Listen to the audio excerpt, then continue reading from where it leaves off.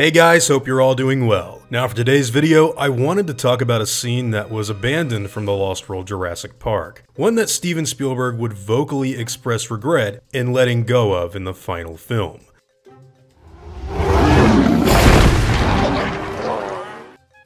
So back when the original Jurassic Park became a mega hit, everyone the world over was heavily anticipating the sequel. Originally, Steven and Koepp had kind of just planned to do their own thing until Michael Crichton announced to the world that he'd begin working on his own sequel to his original novel. His reasoning for doing so was due to fan pressure and anticipation for where the story could go after the first book had ended, contrary to the popular belief that Spielberg was actually the one who had convinced him into writing the book. Steven himself actually commented on The Lost World back in 1990 when a USA Today reporter told him that it was close to being released. You bring me good news. I hadn't wanted to bug him about it, said the director. Of course, when the Lost World novel did eventually get released, much of it would be discarded when the translation to film was underway. Upon initial release, this polarized fans of the original Jurassic Park movie, with angry websites being made in protest against Steven Spielberg for getting rid of much of what was in the book. Now, I had no idea stuff like this was going on in the late 90s, but that's because I was a really little kid that didn't even know these movies were being based off of books at the time. Anyways, after The Lost World came and went, Jurassic Park 3 would soon be released a short four years later, and due to the pretty minuscule box office returns it received when compared to its older siblings, the series was put on ice pretty quickly. Fast forward to 2005 at USC, where Steven Spielberg would give a talk about Jurassic Park 4 and how that film was coming along. During this time, he brought up a scene in the Lost World novel that was not included in the movie. This scene would have involved characters on motorcycles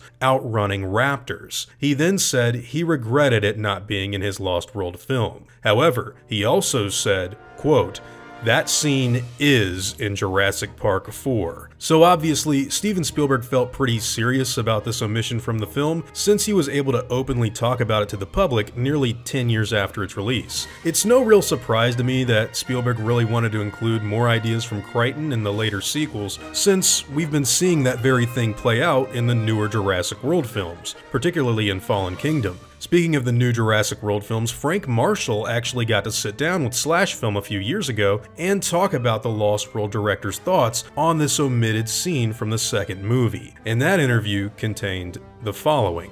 Whose idea was it to involve the trained raptors? That was Steven's idea, says Marshall. In November 2005, Spielberg said there would be a scene with characters on motorcycles outrunning the raptors, and it's just interesting that it's evolved into their running with the raptors now. Right, replied Marshall. And there were a lot of ideas in this movie which I thought was clever with Derek and Colin, where they were able to take Steven's original ideas and incorporate them into the story that they wanted to tell. So it looks like even though Spielberg felt regret in cutting that scene from the second movie, he eventually came through with his promise in 2005 when he said that scene is in Jurassic Park 4. Even after they'd already implemented that particular motorcycle scene in the film, I also find it interesting that Colin wrote a vehicle chase where the animals tear through the jungle after Claire and the kids soon after which really gives the Raptors far more to do than what they had in the first sequel from 1997, which was another thing fans complained about. Now, I've said before in the past that I don't really think people realize how much Spielberg is actively involved in the Jurassic World trilogy as far as the development of the plot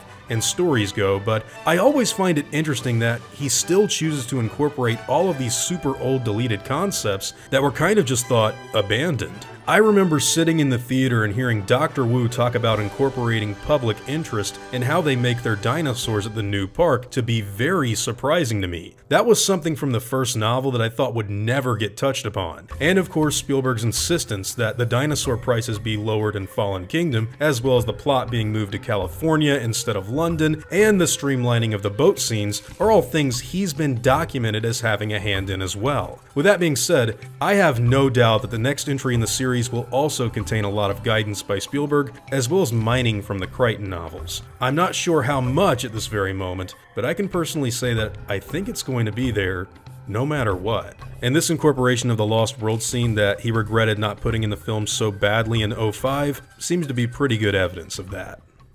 Now, before I go, I'd like to thank all of my game wardens, as well as all of my InGen executives. I'd also like to thank all of my park workers and InGen hunters as well. Guys, it seriously means the world to me that you all continue to support what I do, and I never want you to ever forget that. Now, I'd like to thank you all for watching today's video.